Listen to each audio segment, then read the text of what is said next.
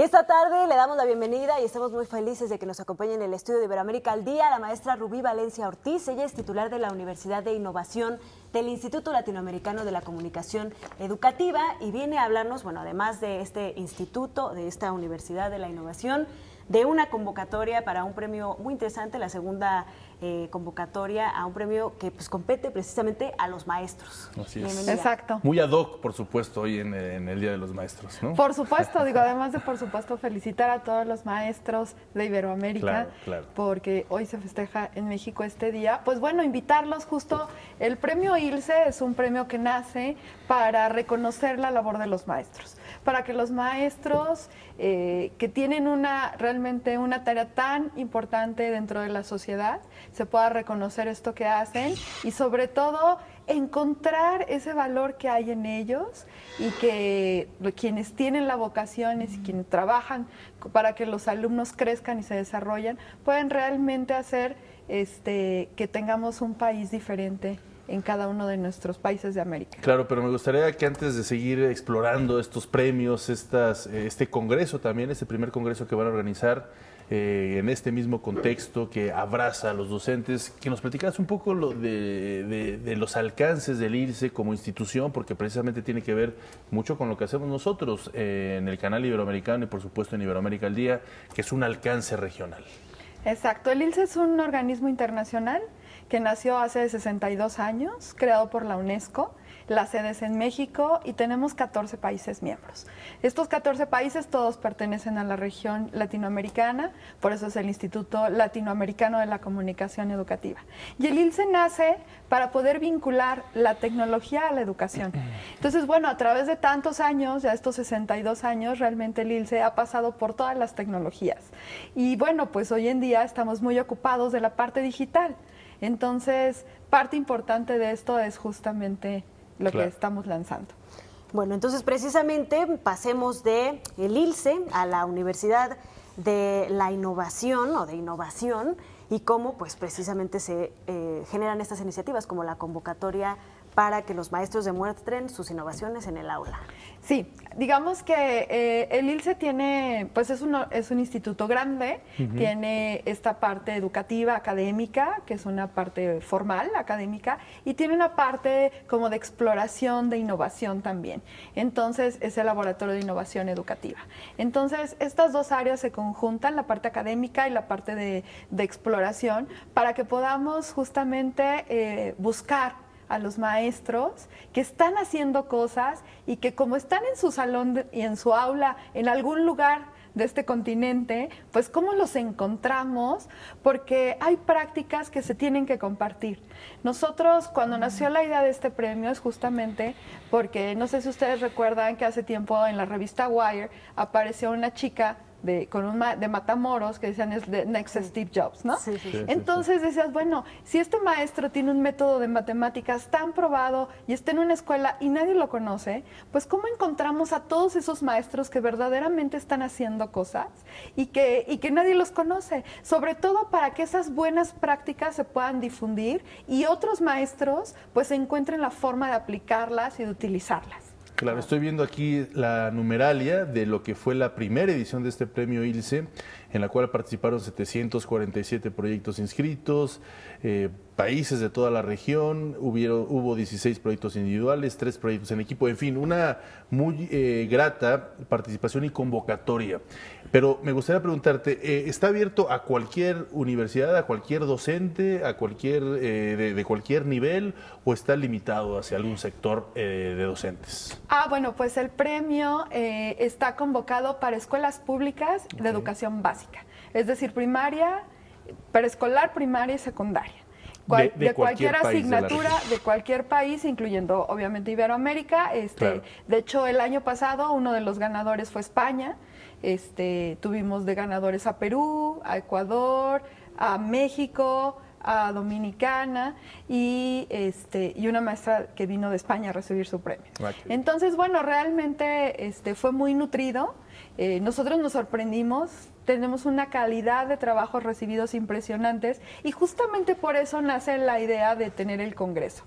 porque hubo muchísimos trabajos, digamos, todo el mundo conoció efectivamente los trabajos ganadores, que fueron 19 trabajos ganadores, pero de los 200 trabajos, de los más de 200 trabajos que se evaluaron, pues había cosas riquísimas también que ver, pero pues no todos pueden ganar, ¿verdad? Así que... Este... Perdón que te interrumpa, hablando precisamente de esos ganadores, eh, Ana Cris, eh, ¿cuál fue el que a ti te llamó la atención de estos eh, proyectos ganadores? Dime alguno para tener idea de cuál fue, por ejemplo, estas propuestas de alguno de los países.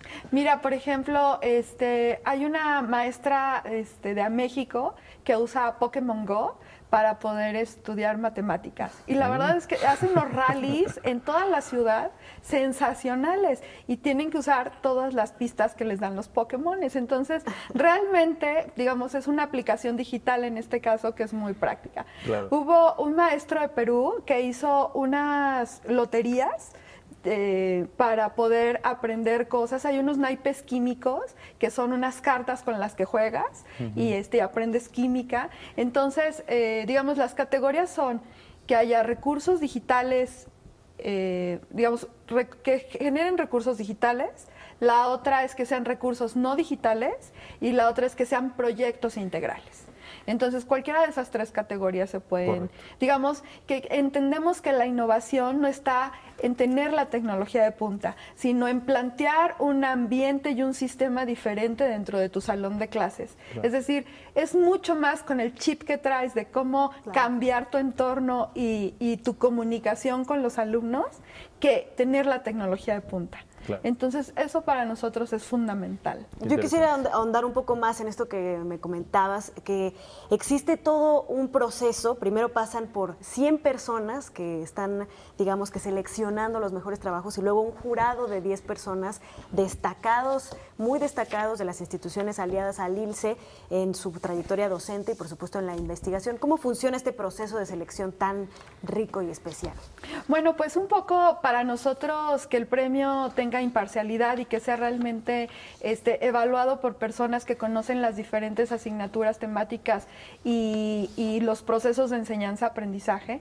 Entonces, lo que hemos hecho es que los maestros para, para inscribirse suben su proyecto bajo unas bases que hay en, la, en una plataforma que está diseñada para el premio. Y de, a partir de ahí convocamos a diferentes instituciones de todo Iberoamérica para que participen en la calificación y selección de los premios. Por ejemplo, en este primer premio que hubo, recibimos más de 700 proyectos, de los cuales se fueron decantando y a través de esta evaluación solo fueron evaluados 222, que cumplieron, digamos, con todos los requisitos. De estos 222, que fueron los, los que se fueron evaluados, pues ya la última selección final, final, final finalísima la hace un jurado, que en el primer premio estuvo a cargo de la presidenta del jurado, fue la doctora Silvia Schmeikes. Ah, pues muy importante. Para esta segunda, rapidísimo, para, esta, para hablar del primer Congreso de Prácticas Docentes Innovadoras en Educación Básica de Iberoamérica y el Caribe, eh, ¿Cuándo eh, ya está corriendo el plazo para entregar los proyectos o apenas se va a abrir la convocatoria? Ya salió, acaba de salir justamente en abril cuando concluyó este el congreso, el primer congreso que cerró, digamos, la etapa del primer premio y este a partir de ahí está abierta en abril y cierra el 20 de agosto. Los resultados se van a dar en noviembre y hacia enero del 2019 se estará haciendo la premiación. Pues qué emoción, ojalá pudiéramos tener en el estudio a algunos de los ganadores anteriores y para no, esperarnos para no esperarnos a, los que vienen. Les va a encantar, la verdad es que las propuestas de los maestros, porque además algo súper interesante es que ahora que hicimos el congreso y participaron, los 200 maestros, digamos, que participaron, que fueron evaluados, tuvieron la oportunidad de presentar sus proyectos. Realmente hay cosas riquísimas y, por ejemplo, una maestra de Puebla que ganó el premio, Mm, parte del premio, el premio es dinero en efectivo, son cuatro mil dólares para el primer lugar, dos mil dólares para el segundo y mil dólares para el tercero. Y la maestra eh, pues nos contaba lo que hizo justamente con su premio y una de las cosas fue comprar cosas para su escuela y ayudar a uno de sus alumnos que tenía un problema de salud. Entonces, realmente, ahí se fue de viaje. Eso, también estuvo Tiene que haber ahí algo de divertimento. Pues dinos rápidamente para pues, los docentes que nos están viendo, las instituciones, cómo exactamente pueden participar, a qué páginas, a qué contactos se tienen que dirigir y qué proceso tienen que seguir para meter sus proyectos. Bueno, pues tienen que consultar la página del ILSE, que es www.ilse.edu.mx, y ahí van a ver una pestaña que dice Premio ILSE. En el Premio ILSE ahí viene justamente el acceso al sistema, las indicaciones de cómo deben de llenar todo su formato, cuáles son los requisitos, cómo deben de estar. Ustedes entran y les va guiando paso a paso y al final ya les dice que fue recibido su proyecto y les llega un correo de confirmación para garantizar que tenemos el proyecto y que va a ser evaluado. Pues enhorabuena Rubí, muchísimas gracias por haber venido. Esperamos que podamos seguir ahondando en estos proyectos, en el contacto con estos maestros que ustedes han detectado de manera tan eh, pues eficaz, ¿no? A través además de estos jurados tan especializados y eh, pues seguir platicando acerca de la educación en Iberoamérica. Con mucho gusto, aquí nos seguiremos viendo. Gracias, gracias. Hasta luego.